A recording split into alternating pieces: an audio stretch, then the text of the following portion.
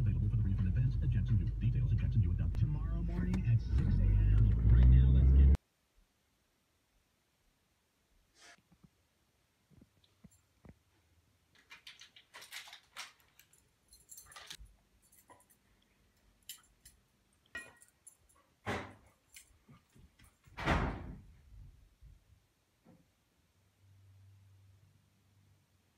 Just like two seconds.